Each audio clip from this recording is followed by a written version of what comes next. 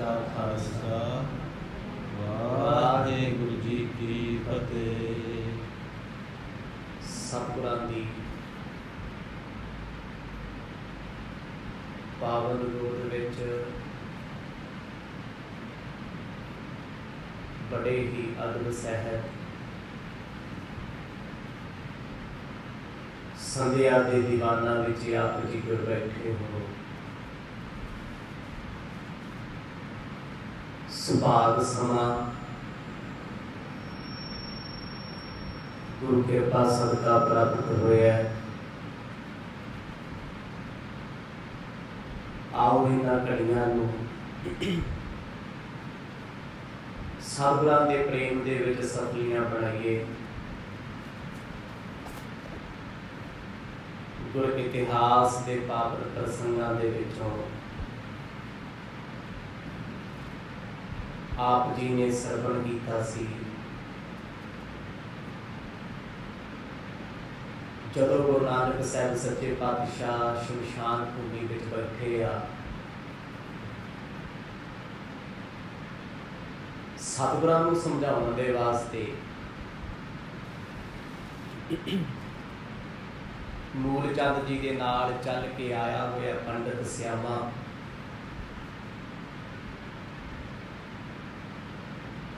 ਲਿਬਾਸ ਵੇਖ ਕੇ ਆਖਣ ਲੱਗਿਆ ਤੂੰ ਮਾਂ-ਬਾਪ ਦੀ ਸੇਵਾ ਨਹੀਂ ਕਰ ਸਕਦਾ ਮਾਪਿਆਂ ਨੂੰ ਦੁੱਖ ਦੇਣ ਵਾਸਤੇ ਜੰਮਿਆ ਹੈ। ਤੇਰੇ ਤੇ ਬਚਪਨ ਬੜਾ ਹੈ ਉਮਰ ਕਰਕੇ ਵੱਡਾ ਹੋ ਗਿਆ ਬੜੇ ਫੀਕੇ ਸ਼ਬਦ ਮਾੜੇ ਬੋਲ ਜਦੋਂ ਸਤਿਗੁਰਾਂ ਨੂੰ ਬੋਲੇ ਗੁਰੂ ਨਾਨਕ ਸਾਹਿਬ ਜੀ ਨੇ ਫਿਰ ਅੰਮ੍ਰਿਤ ਬਚਨ ਰਾਗ ਬਸੰਤ ਵਿੱਚ ਉਚਾਰਨ ਕੀਤਾ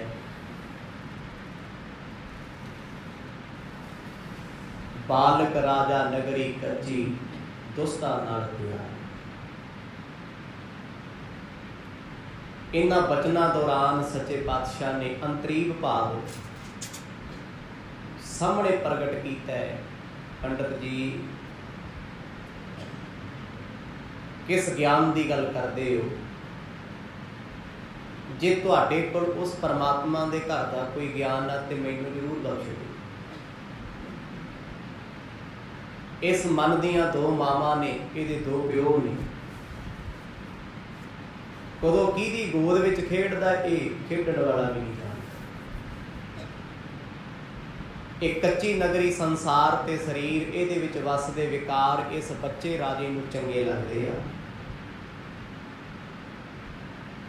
ਪਰ ਇਹ ਸ਼ਰਾਰਤੀ ਬਹੁਤ ਹੈ ਇੱਕ ਤੇ ਰਾਜ ਭਾਗ ਆ ਗਿਆ, ਛੋਟੀ ਉਮਰੇ ਮਨ ਦੇ ਕੋਲੇ ਸਾਰੇ ਸਰੀਰ ਤੇ ਕੰਟਰੋਲ ਹੈ, ਤੇ ਫਿਰ ਸ਼ਰਾਰਤੀ।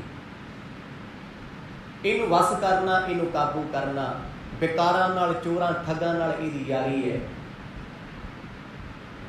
ਤੇ ਉਸ ਘਾਰੀ ਉੱਤੇ ਇਹ ਮਨ ਮਾਣ ਕਰਦਾ ਫਿਰਦਾ ਹੈ, ਜਿਹੜਾ ਮਿੱਟੀ ਦਾ ਬਣਿਆ ਹੈ। ਕਾਲ ਦਾ ਠਣਕਾ ਲੱਗਿਆ ਜਿਹਨੇ ਟੁੱਟ ਜਾਣਾ ਹੈ।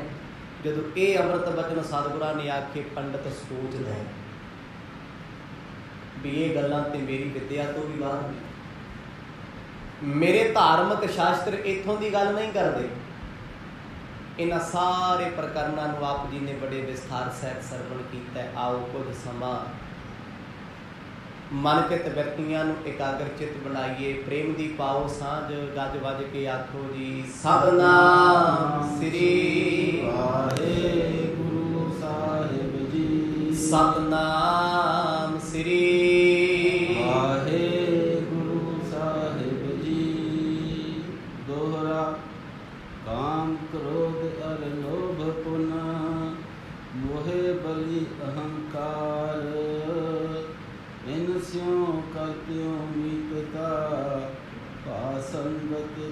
ਖਾਰ ਦੀਨ ਦੁਨੀਆ ਦੇ ਵਾਲੀ ਗੁਰੂ ਨਾਨਕ ਸਾਹਿਬ ਸੱਚੇ ਪਾਤਸ਼ਾਹ। ਪੰਡਤ ਸਿਆਮੇ ਨੂੰ ਸੰਬੋਧਨ ਕਰਦੇ ਨੇ, ਅੱਜ ਸਾਡੇ ਤੇ ਤਰਸ ਕਰ ਰਹੇ ਪੰਡਤ ਜੀ ਨੇ ਤੇ ਕੇਵਲ ਸ਼ਮਸ਼ਾਨ ਭੂਮੀ ਵੇਖੀ ਹੈ ਤੇ ਗੁਰੂ ਸਾਹਿਬ ਤੇ ਪਾਇਆ ਲਿਬਾਸ ਵੇਖਿਆ ਭਰਮ ਗਿਆ ਪਰ ਸਤਿਗੁਰ ਜੀ ਆਖਣ ਲੱਗੇ, ਇਹ ਮਨ ਜਿਹੜਾ ਬੱਚਾ ਹੈ, ਜਿਹਨੂੰ ਰਾਜ ਭਾਗ ਮਿਲ ਗਿਆ। ਬਚਪਨ ਵਿੱਚ ਰਾਜ ਭਾਗ ਮਿਲਣਾ ਕਰਮਾਂ ਦੀ ਨਿਸ਼ਾਨੀ ਹੁੰਦੀ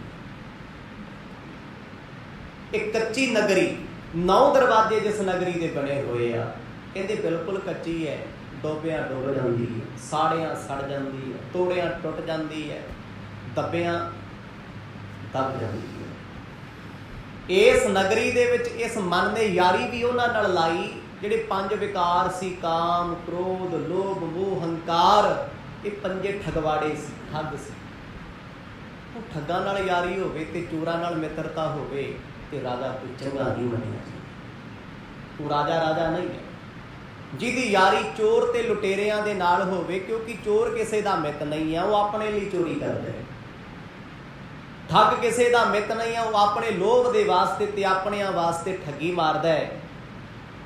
ਜੋ ਆਪਣਿਆਂ ਲਈ ਠੱਗੀ ਕਰ ਸਕਦਾ ਤੇ ਆਪਣਿਆਂ ਨੂੰ ਲੁੱਟ ਸਕਦਾ, ਉਹ ਕਿਸੇ ਦਾ ਬਣਿਆ ਕਦੋਂ? ਸਤਿਗੁਰ ਕਹਿੰਦੇ, ਪੰਜੇ ਵਿਕਾਰਾਂ ਨਾਲ ਠੱਗਾਂ ਦੇ ਨਾਲ ਇਸ ਮਨ ਨੇ ਯਾਰੀ ਲਾ ਲਈ। ਹੁਣ ਮਾਣ ਉਹਨਾਂ ਤੇ ਕਰਦਾ ਹੈ, ਚੋਰ ਨੂੰ ਪਹਿਰੇਦਾਰ ਇਹ ਮਨ ਬਣਾਈ ਫਿਰਦਾ ਹੈ। ਪਹਿਰੇਦਾਰ ਉਹ ਲਾਇਆ ਜੋ ਖੁਦ ਚੋਰ ਹੈ। ਪੰਜ ਵਿਕਾਰ ਇਸ ਦੇਹੀ ਨੂੰ ਖਾ ਰਹੇ ਨੇ। ਮਰਦ ਬਾਣੀ ਵਿੱਚ ਲਿਖਦੇ ਆ ਇਹ ਕਾਮ ਤੇ ਕ੍ਰੋਧ ਆ ਨਾ ਜਿਹੜਾ ਇਹ ਜ਼ਿਆਦਾ ਹਾਨੀਕਾਰਕ ਕਾਮ ਕ੍ਰੋਧ ਕਾਇਆ ਕਉ ਗਾਲੈ, ਜਿਉ ਕੰਚਨ ਸੁਹਾਗਾ ਢਾਲੈ। ਜਿਵੇਂ ਸੁਨਿਆਰਾ ਸੋਨੇ ਨੂੰ ਪਾਣੀ ਬਣਾ ਦਿੰਦਾ ਗੋਤੇ ਕਾਮ ਤੇ ਕ੍ਰੋਧ ਕਹਿੰਦੇ ਇਸ ਸਰੀਰ ਨੂੰ ਇਦਾਂ ਢਾਲ ਦਿੰਦੇ ਹੁਣ ਅੱਗ ਦੇ ਨਾਲ ਬਰਫ਼ ਦੀ ਮਿੱਤਰਤਾ ਹੈ। ਕਦ ਤੱਕ ਰਹੇਗੀ।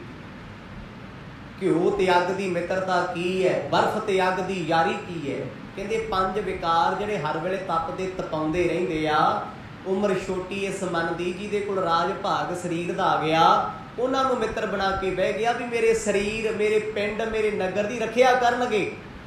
ਜਿੰਨਾ ਤੋਂ ਆਪ ਖਤਰਾ ਹੋ ਸਤਨਾਮ ਇਹ ਮਹੰਦਾਰ ਬੰਦੇ ਨੂੰ ਰਖਵਾਲੀ ਦਿੱਤੀ ਹੁੰਦੀ ਤੇ ਰਾਖੀ ਕਰਦਾ। ਜੋ ਆਪ ਹੀ ਚੋਰ ਸੀ, ਲੁਟੇਰਾ ਸੀ, ਉਹਨੇ ਕੀ ਕਰਿਆ? ਮਰਦ ਕਹਿੰਦੇ ਆ ਪੰਜ ਦੂਤ ਹਨ। ਪੰਜੇ ਠਗਵਾੜੇ ਨੇ ਮਨ ਦੇ ਮਿੱਤਰ ਬਣ ਗਏ। ਚੌਪਈ ਲੂਟ ਹੈ ਮਿਲ ਕਰ ਇਸ ਕੀ ਨਗਰੀ।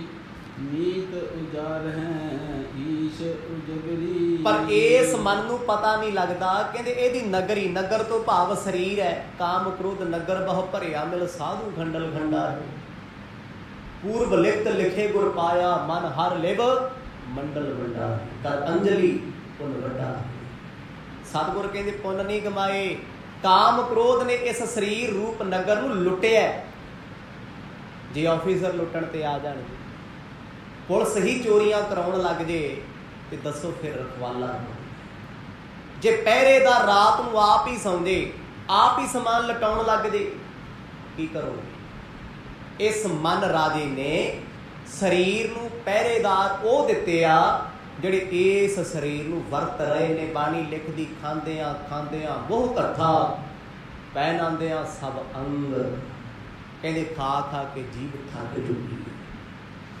ਰਸ ਭੋਗਣ ਦੀ ਸੈਂਸ ਖਤਮ ਹੁੰਦੀ ਜਾ ਰਹੀ ਹੈ, ਪਰ ਮਨ ਕਹਿੰਦਾ ਹੋਰ ਲਿਆ। ਅੱਖਾਂ ਤੋਂ ਦਿਸਦਾ ਨਹੀਂ ਹੈ, ਬੁਢਾਪਾ ਆ ਗਿਆ, ਪਰ ਅੱਖੀ ਵੇਖਣਾ ਰੱਜੀਆਂ ਬਹੁ ਰੰਗ ਤਮਾਸੇ। ਬੁੱਢਾ ਵੀ ਹੋ ਗਿਆ, ਤੁਰਿਆ ਨਹੀਂ ਜਾਂਦਾ, ਕਹਿੰਦਾ, ਪੁੱਤ, ਜਰਾ ਮੈਨੂੰ ਵੀ ਟੀਵੀ ਵਿਖਾ ਪਾਸੇ ਮੈਂ ਵੀ ਵਿਖਾਂਗੀ। ਰੱਜ ਨਹੀਂ ਰਿਹਾ। ਨਾ ਜੀਬ ਰੱਜਦੀ, ਨਾ ਕੰਨ ਰੱਜਦੇ। ਕਹਿੰਦੇ, ਪੰਜ ਵਿਕਾਰਾਂ ਨੇ ਇਸ ਨਗਰੀ ਨੂੰ ਲੁੱਟਣਾ ਸ਼ੁਰੂ ਕੀਤਾ। ਲੁੱਟਦੇ ਰਹਿਣਗੇ, ਜਦੋਂ ਤੱਕ ਉਜੜਦੀ ਨਹੀਂ। ਬਿਗੜਿਓ ਆਪਨੋ ਜਾਣਿਓ ਨਹੀਂ।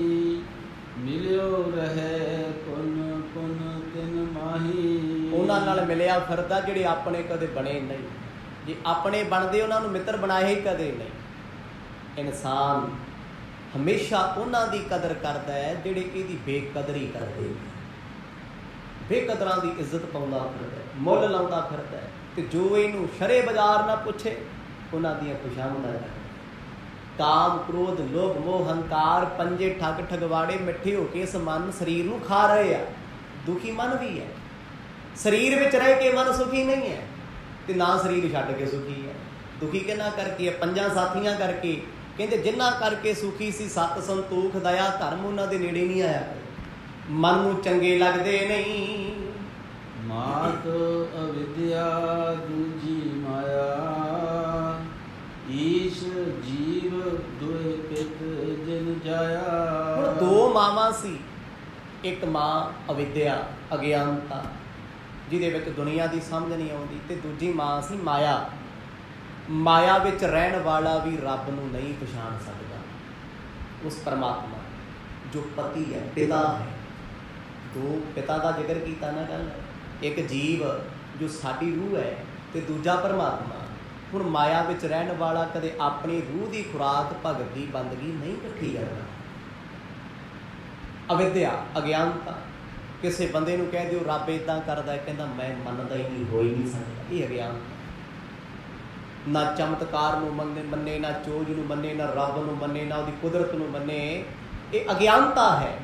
ਕਹਿੰਦੇ ਅਗਿਆਨਤਾ ਵਿੱਚ ਰਹਿਣ ਵਾਲਾ ਬੰਦਾ ਵੀ ਨਾ ਰੱਬ ਦੀ ਖੁਸ਼ੀ ਪਾਵੇ ਤੇ ਨਾ ਰੂਹ ਕਰਕੇ ਖੁਸ਼ ਹੈ। ਬਹੁਤੇ ਸਵਾਲ ਕਰਨ ਵਾਲਾ ਅੰਦਰੋਂ ਪਰੇਸ਼ਾਨ ਬਹੁਤ ਹੁੰਦਾ ਹੈ। ਕਹਿੰਦੇ ਅਵਿਦਿਆ ਦੀ ਗੋਦ ਖੇਡੇ ਭਾਵੇਂ, ਮਾਇਆ ਦੀ ਗੋਦ ਖੇਡੇ ਦੋਵੇਂ ਮਾਵਾਂ ਹੀ ਕਹਿੰਦੇ ਐਸੀ ਮਮਤਾ ਵਿੱਚ ਉਲਝਾ ਦਿੰਦੀਆਂ ਮਨ ਰੂਪ ਬੱਚੇ ਨੂੰ ਇਹ ਪਿਤਾ ਪਰਮਾਤਮਾ ਨੂੰ ਸਮਝਦਾ ਹੀ ਨਹੀਂ ਹੈ। ਜਦ ਮਾਂ ਦੀ ਗੋਦ ਵਿੱਚ ਬੱਚਾ ਬੈਠਾ ਹੋਵੇ ਉਹ ਪਿਓ ਨੂੰ ਟਿੱਚ ਜਾਣਦਾ। ਬਚਪਨ ਵਿੱਚ।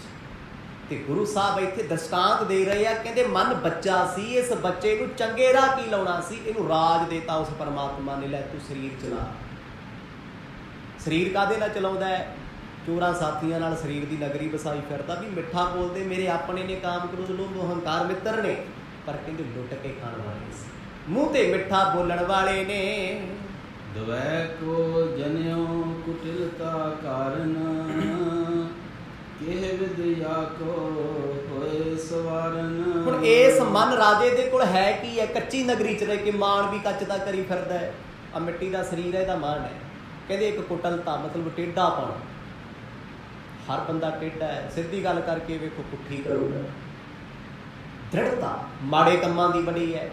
ਤੁਸੀਂ ਆਖੋ, ਨਹੀਂ ਇਦਾਂ ਨਹੀਂ ਇਦਾਂ ਕਰ, ਕਹਿੰਦਾ, ਲੈ ਇਦਾਂ ਕਿਦਾਂ ਕਰਾ ਦੇਗਾ ਤੂੰ ਹੋ ਨਹੀਂ ਸਕਦਾ। ਵਿਕਲਪ ਨਹੀਂ ਹੈ ਹਰ ਥਾਂ ਤੇ ਆਪਣੇ ਮਨ ਨੂੰ ਅੱਗੇ ਰੱਖਦਾ ਹੈ, ਆਪਣੀ ਸੋਚ ਨੂੰ ਅੱਗੇ ਰੱਖਦਾ ਹੈ।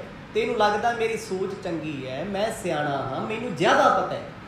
ਪਰ ਜ਼ਰੂਰੀ ਨਹੀਂ ਹੈ, ਜੋ ਸਾਡਾ ਮਨ ਕਰਦਾ ਉਹ ਹੀ ਠੀਕ ਹੈ।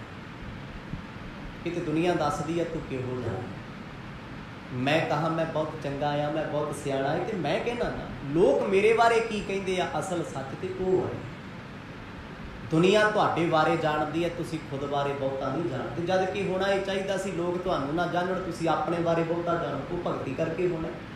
ਸਤਿਗੁਰ ਕਹਿੰਦੇ, ਕੁਟਲਤਾ ਇਹਦੇ ਕੋਲ ਹੈ। ਟੇਢਾਪਣ ਇਹਦੇ ਕੋਲੇ ਹੈ, ਦੁਬਦਾ ਇਹਦੇ ਕੋਲੇ ਹੈ।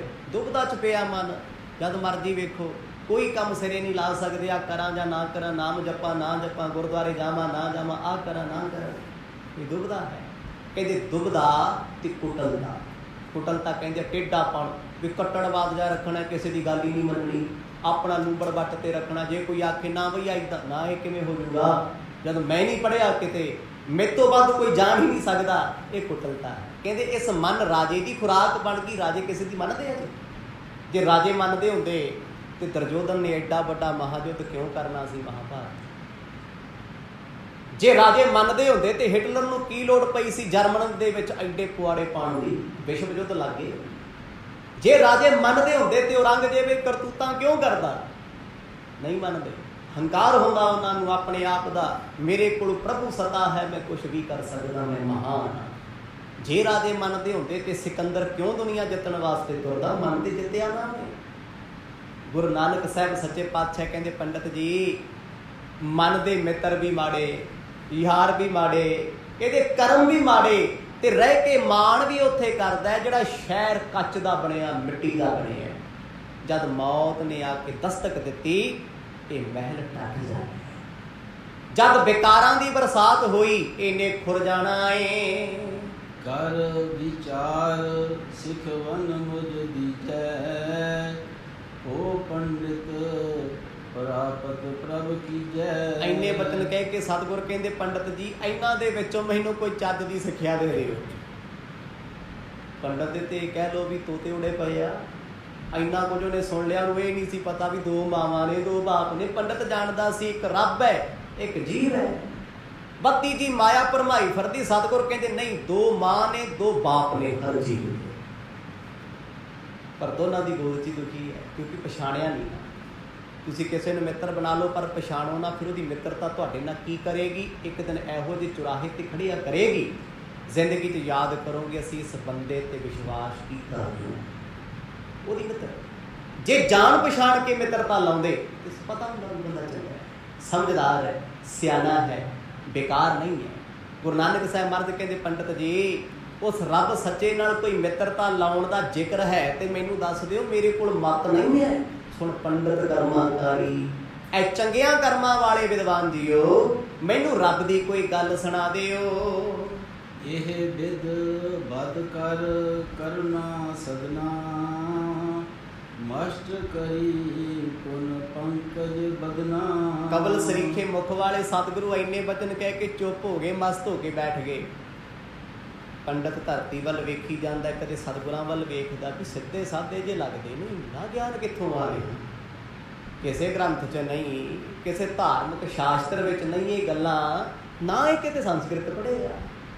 ਪੰਡਤ ਬਣਨ ਵਾਸਤੇ ਉਹਨਾਂ ਸਮਿਆਂ 'ਚ ਸੰਸਕ੍ਰਿਤ ਪੜ੍ਹਦਿਆਂ 25 ਸਾਲਾਂ ਦਾ ਕੋਰਸ ਸੀ, ਤੇ ਹੁਣ ਵੀ ਹੈ।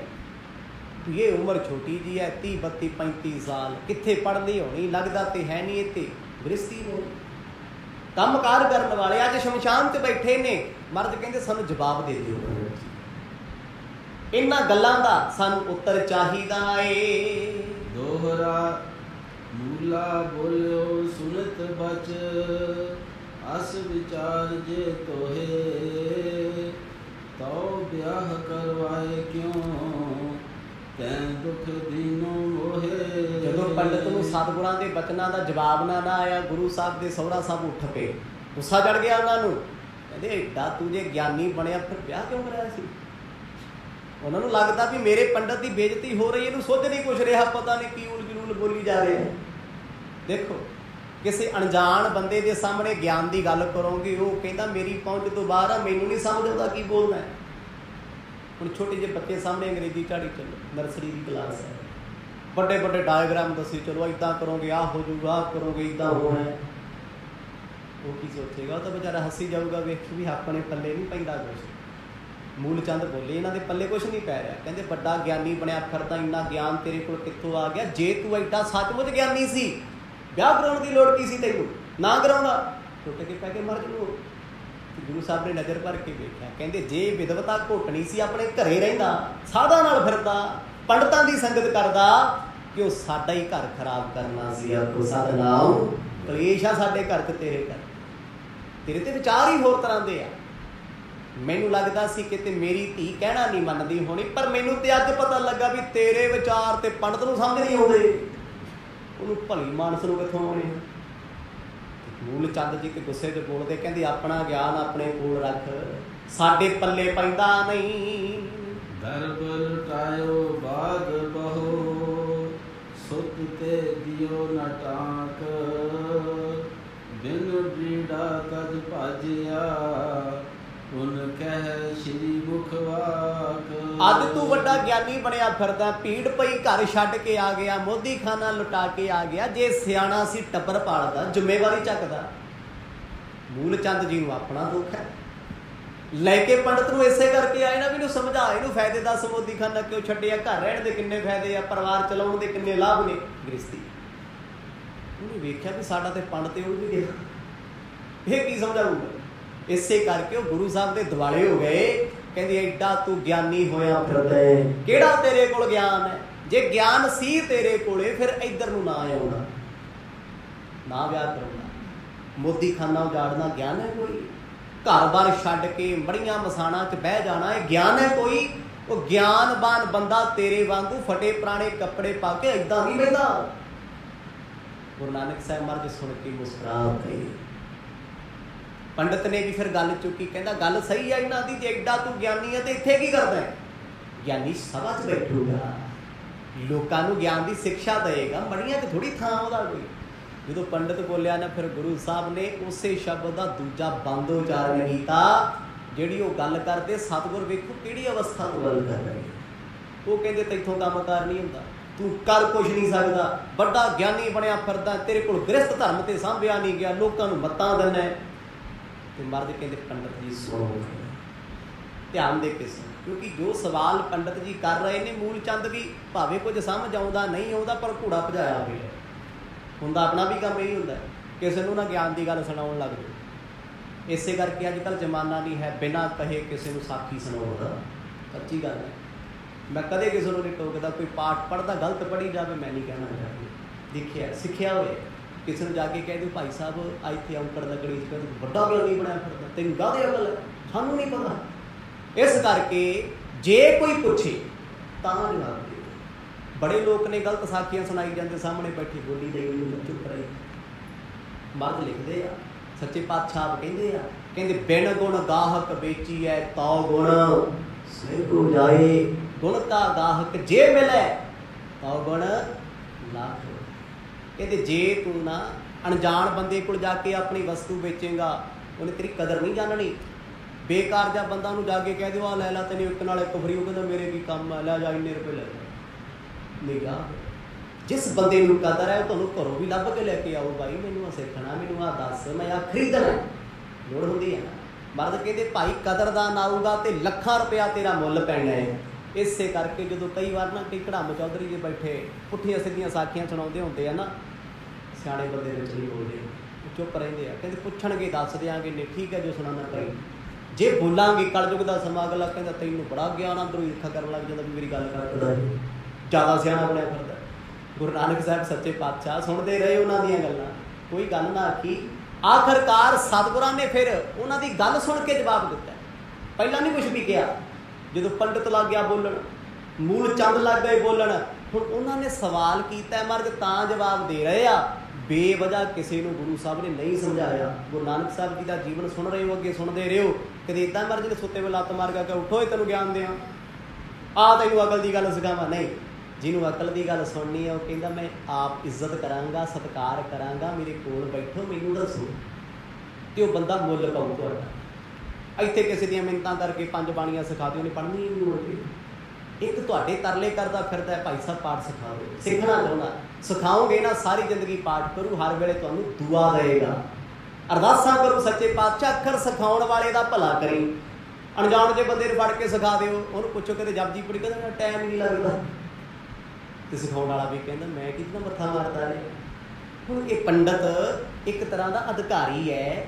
ਉਹ ਕਹਿੰਦਾ ਸੀ ਨਾ, ਗੁਰੂ ਸਾਹਿਬ ਨੂੰ ਮੂਲ ਚੰਦ ਕਹਿੰਦਾ, ਜੇ ਇੰਨਾ ਗਿਆਨ ਸੀ ਤੇਰੇ ਕੋਲ, ਲੋਕਾਂ ਨੂੰ ਕਿਉਂ ਨਹੀਂ ਸਮਝਾਉਂਦਾ? ਮਰਜ਼ ਉਹਨਾਂ ਨੂੰ ਸਮਝਾਉਂਦੇ, ਜਿਹੜੇ ਸਮਝਣਾ ਚਾਹੁੰਦੇ ਆ। ਅਣਜਾਣ ਬੰਦੇ ਨੂੰ ਸਮਝਾ ਕੇ ਵੇਖ ਲਓ, ਜੇ ਸਮਝ ਗਿਆ ਤਾਂ ਕਿ ਜ਼ਰੂਰ ਮੈਨੂੰ ਦੱਸਿਓ ਵੀ ਸਮਝ ਸਮਝ ਲਓ ਜਿਹੜਾ ਬੰਦਾ ਤੁਹਾਨੂੰ ਕਹਿੰਦਾ, ਮੈਨੂੰ ਅਕਲ ਦੀ ਗੱਲ ਦੱਸਿਆ ਕਰ। ਮੈਂ ਜਿੱਥੇ ਗਲਤੀ ਕਰਾਂ, ਮੈਨੂੰ ਟੋਕਿਆ ਕਰ। ਸੱਚੀ ਉਹ ਬੰਦਾ ਤੁਹਾਡੇ ਕਹੇ ਦਾ ਬੜਾ ਵੱਡਾ ਮੁੱਲ ਪਾਏਗਾ, ਕਦਰਦਾਨ ਹੋਏਗਾ। ਤੇ ਕਿਸੇ ਬੇਕਾਰ ਦੇ ਬੰਦੇ ਨੂੰ ਜਾ ਕੇ ਕਹਿ ਦਿਓ, ਤੂੰ ਇੱਥੇ ਗਲਤ ਆ, ਉਹ ਕਹਿੰਦਾ, ਤੂੰ ਬੜਾ ਸਿਆਣਾ ਹੈ। ਤੇਰੇ ਕੋਲ ਕੀ ਹੈ?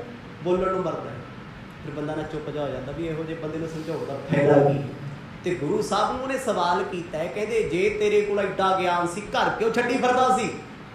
ਮਰਦ ਕਹਿੰਦੇ, ਪੰਡਤ ਜੀ, ਸੁਣ ਲਓ ਗਿਆਨ ਦੀ ਗੱਲ ਜੇ ਤੁਹਾਡੇ ਕੋਲੇ ਤੋਂ ਉੱਪਰ ਦਾ ਗਿਆਨ ਆ ਤੇ ਮੈਨੂੰ ਦੱਸ ਦਿਓ। ਇਹ ਆਸਾਨ ਹੈ ਇਹ ਨਹੀਂ ਆ ਵੀ ਮੇਰਾ ਗਿਆਨ ਅੰਤਮ ਆ, ਮੇਰੀ ਅਕਲੇ ਤੋਂ ਵੱਡੀ ਅਕਲ ਨਹੀਂ ਕਿਸੇ ਦੀ। ਹਾਂ, ਹੋ ਸਕਦਾ ਹੈ। ਸਮਝਣ ਵਾਲੀ ਗੱਲ ਕਰ। ਆ ਜਿਹੜੀ ਕਥਾ ਅਸੀਂ ਸੁਣਾ ਰਹੇ ਹਾਂ, ਹੋ ਸਕਦਾ ਮੇਰੇ ਤੋਂ ਕਥਾ ਕਰਦੇ, ਇੱਕ ਨਹੀਂ, ਲੱਖਾਂ ਗਲਤੀਆਂ ਹੁੰਦੀਆਂ। ਹੋਣ ਜੇ ਕੱਲ ਨੂੰ ਕੋਈ ਗੁਰਮਤਿ ਪਿਆਰਾ ਮੈਨੂੰ ਪਿਆਰ ਚ ਬਹਿ ਕੇ ਇੱਕ ਪਾਸੇ ਜਾ ਕੇ, ਭਾਈ ਸਾਹਿਬ, ਤੁਸੀਂ ਇੱਥੇ ਗਲਤ ਸੁਣਾਇਆ ਮੈਂ ਪੈਰ ਫੜ ਲੂੰਗੀ ਹਾਂ ਵੀ ਤੁਸੀਂ ਚਾਰ ਬੰਦਿਆਂ ਚ ਖੜ ਕੇ ਓਏ, ਤੈਨੂੰ ਆਇਆ ਨਹੀਂ। ਮੈਂ ਕਹਿੰਦਾ, ਤੂੰ ਵੱਡਾ ਗਿਆਨੀ ਬਣਿਆ ਫਿਰਦਾ। ਤੈਨੂੰ ਕੀ ਆਉਂਦਾ ਕੀ ਪੜ੍ਹਿਆ ਹੁੰਦਾ ਨਾ। ਜਦ ਕੋਈ ਪਿਆਰ ਨਾ ਪੁੱਛੇ ਤੇ ਸੱਚੀ 100 ਵਾਰ ਨਮਸਕਾਰ ਹੈ, ਕਿਉਂਕਿ ਉਹ ਤੁਹਾਡਾ ਮਿੱਤਰ ਹੈ ਜਿਹੜਾ ਤੁਹਾਡੇ ਔਗਣ ਦਾ ਸੀ। ਜੋ ਤੁਹਾਡੇ ਗੁਨਾਹਾਂ ਨੂੰ ਤੁਹਾਡੇ ਤੋਂ ਦੂਰ ਕਰਨਾ ਚਾਹੁੰਦਾ ਹੈ ਤੇ ਜਿਹੜਾ ਤੁਹਾਡਾ ਦੁਸ਼ਮਣ ਹੋਏਗਾ ਨਾ, ਮਿੱਤਰ ਬਣਿਆ ਹੋਇਆ ਉਹ ਚਾਹੁੰਦਾ ਵੀ ਇਹਨੇ ਇੱਕ ਗਲਤੀ ਕੀਤੀ, ਵੱਡੀ ਕਰੇ, ਛੱਤਰ ਖਾਵੇ ਲੋਕਾਂ ਤੋਂ ਤੇ ਮੈਨੂੰ ਸਵਾਦ ਆਊਗਾ ਵਧੀਆ ਲੱਗੂਗਾ ਪਰ ਮਿੱਤਰ ਨਹੀਂ ਚਾਹੁੰਦਾ। ਵੀ ਇਹਦੇ ਨਾਲ ਐਸਾ ਹੋਵੇ। ਗੁਰੂ ਨਾਨਕ ਸਾਹਿਬ ਮਹਾਰਾਜ ਵੇਖ ਕੇ ਹੱਸ ਪਏ, ਹੱਸਣ ਲੱਗੇ। ਮੂਲ ਚੰਦ ਕਹਿੰਦਾ, ਸੀ ਜਾ, ਤੇਰੀਆਂ ਗੱਲਾਂ ਕਿਹੜਾ ਸਾਨੂੰ ਸਮਝ ਆਉਂਦੀਆਂ? ਪਰ ਪੰਡਤ ਨੂੰ ਆ ਰਹੀਆਂ ਸੀ, ਉਹ ਵੇਖਦਾ ਵੀ ਕਿਸੇ ਵੇਦ ਗ੍ਰੰਥ ਵਿੱਚ ਹੈ ਹੀ ਨਹੀਂ ਲਿਖਿਆ ਜੋ ਸਤਿਗੁਰ ਸੁਣਾਉਂਦੇ ਹਨ। ਪੀਤਰ ਅਗਨ ਬਨਾਸਪਤ ਮੌਲੀ। ਸਾਗਰ ਪੰਡੇ ਪਾਇਆ। ਫੇਰ ਸਤਿਗੁਰਾਂ ਨੇ ਅੰਮ੍ਰਿਤ ਬਚਨ ਉਚਾਰਨ ਕੀਤਾ, ਪੀਤਰ ਅਗਨ ਬਨਸਪਤ ਮੌਲੀ ਸਾਗਰ ਪੰਡੇ ਪਾਇਆ। ਪਹਿਲਾਂ ਬਾਹਰੋਂ ਸਮਝਿਆ ਆ ਦੁਨੀਆ ਦੇ ਵਿੱਚ ਜਿੰਨੀ ਬਨਸਪਤੀ ਹੈ, ਸਮਝਦੇ ਹੋ ਬਨਸਪਤੀ? ਲੱਕੜ, ਦਰਖਤ, ਜੰਗਲ, ਬਨਸਪਤੀ ਦਾ। ਰੂਪ ਜਿੰਨੇ ਜੰਗਲ ਦੇ ਭਾਵੇਂ ਹਰੇ ਬੂਟੇ ਨੇ, ਇੱਕ ਛੋਟਾ ਜਿਹਾ ਪਲਾਂਟ ਹੈ, ਭਾਵੇਂ ਪਾਣੀ 'ਚ ਲੱਗਾ ਹੈ ਮਿੱਟੀ 'ਚ ਲੱਗਾ ਹੈ ਜਾਂ ਹਵਾ 'ਚ ਲੱਗਾ ਹੈ ਇਹਨਾਂ ਸਾਰਿਆਂ ਦੇ ਵਿੱਚ ਅੱਗ ਹੈ। ਅੱਗ ਫਾਇਰ। ਬਾਣੀ। ਸਾਗਰ ਪਿੰਡ ਭਾਈ। ਕਹਿੰਦੇ ਸਮੁੰਦਰ ਦੇ ਵਿੱਚ ਮਿੱਟੀ ਦੀ ਧਰਤੀ ਪਈ ਹੈ। ਜੇ ਹੁਣ ਸਮੁੰਦਰ ਵਿੱਚ ਧਰਤੀ ਪਈ ਹੈ ਜਾਂ ਧਰਤੀ ਵਿੱਚ ਸਮੁੰਦਰ ਹੈ ਪਾਣੀ ਦੋਨਾਂ ਚ ਹੀ ਹੈ। ਹੁਣ ਇਹ ਗੱਲ ਹਜਮ ਨਹੀਂ ਹੋ ਰਹੀ ਵੀ ਬਨਸਪਤੀ ਦੇ ਵਿੱਚ ਜੇ ਅੱਗ ਹੋਊ ਅੱਗ ਤੇ ਫੂਕ ਦਿੰਦੀ ਹੈ ਸਾੜ ਦਿੰਦੀ ਹੈ ਫਿਰ ਬਾਣੀ ਲਿਖਦੀ ਹੈ। ਸਗਲ ਬਨਸਪਤ ਮਹਿ ਮੈਂ ਸੰਦਰ ਸਗਲ ਦੂਧ ਮਹਿ ਕੀਆ। ਊਚ ਨੀਚ ਮਹਿ ਜੋਤ ਸਮਾਣੀ ਘਟ ਘਟ ਮਾਧੋ ਜੀਆ। ਕਹਿੰਦੇ ਜਿੰਨੀਆਂ ਬਨਸਪਤੀਆਂ ਚ ਬਸੰਤਰ, ਕਹਿੰਦੇ ਅੱਗ ਸਾਰੇ ਚੱਲ ਗਏ। ਇਹਦੇ ਦਿਖਾ ਦਿੱਤੇ। ਗੁਰੂ ਸਾਹਿਬ ਨੇ ਵਿਖਾਉਣੀ ਵੀ ਆਉਣ ਵਾਲੇ ਸਮੇਂ, ਵਿਖਾ ਦੇਣਗੇ। ਕਹਿੰਦੇ ਭਾਈ ਇਦਾਂ ਹੀ ਹੈ ਜਿਵੇਂ ਦੁੱਧ ਵਿੱਚ ਘਿਓ ਹੈ। ਲਓ ਦੁੱਧ ਦਾ ਗਲਾਸ ਲੈ ਆਓ, ਫਰਿੱਜ 'ਚ ਰੱਖ ਲਓ, ਫੈਂਟ ਲਓ, ਵਾਲ ਲਓ, ਘਿਓ ਨਿਕਲ ਜੂ। ਨਹੀਂ। ਘਿਓ ਕੱਢਣ ਵਾਸਤੇ ਗਰਮ ਕਰਨਾ ਪੈਣਾ ਉਬਾਲਾ ਦੇ ਕੇ ਰਾਤ ਨੂੰ ਜਾਗ ਲਾ ਕੇ ਰੱਖਣਾ ਪੈਣਾ ਸਵੇਰ ਹੁੰਦਿਆਂ ਦਹੀਂ ਨੂੰ ਰਿੜਕਣਾ ਪੈਣਾ ਮੱਖਣ ਨਿਕਲੂਗਾ, ਫਿਰ ਉਸ ਮੱਖਣ ਨੂੰ ਅੱਗ ਤੇ ਰੱਖਣਾ ਪੈਣਾ ਕਿ ਤਾਂ ਮਿਹਨਤ ਕਰਕੇ ਘਿਓ ਬਣਦਾ ਹੈ। ਨਿਕਲਿਆ ਤੇ ਦੁੱਧ ਚੋਂ ਹੀ ਹੈ। ਭਾਵੇਂ ਖੋਆ ਹੋਵੇ, ਲੱਸੀ ਹੋਵੇ, ਦੁੱਧ ਹੋਵੇ, ਦਹੀਂ ਹੋਵੇ, ਪਨੀਰ ਹੋਵੇ, ਸਭ ਦੁੱਧ ਚੋਂ ਨਿਕਲਿਆ, ਪਰ ਜੇ ਦੁੱਧ ਦਾ ਗਲਾਸ ਚੁੱਕੀ ਫਿਰੀਏ ਵੀ ਤੇ ਪਨੀਰ ਹੈ ਹੀ ਨਹੀਂ। ਘਿਓ ਕਿੱਥੇ ਆ ਬਾਬਾ ਜੀ? ਝੂਠ ਬੋਲਦੇ ਆ। ਮਿਹਨਤ ਕਰਦੇ ਸਾਰੀਆਂ ਲੱਕੜਾਂ ਦੇ ਵਿੱਚ ਅੱਗ ਹੈ। ਦਿਸੇਗੀ ਕਦੋਂ? ਜਿੱਦਣ ਉਹ ਸੂਖਮ ਵਿਅਕਤੀ ਬਣ ਗਈ।